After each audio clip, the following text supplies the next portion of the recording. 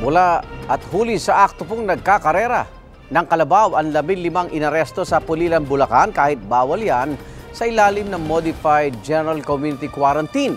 Kabilang sa mga inaresto ang isang barangay kagawad at anim na menor de edad. Kupiskado rin ang walong imported na kalabaw. Git naman ng ilan sa mga suspect, wala namang pustahan sa karera. Nagsasanay lang daw sila. Barap sila sa reklamong illegal gambling at paglabag sa Bayanihan to Heal as One Act. Na-turn over naman sa DSWD ang mga menor de edad.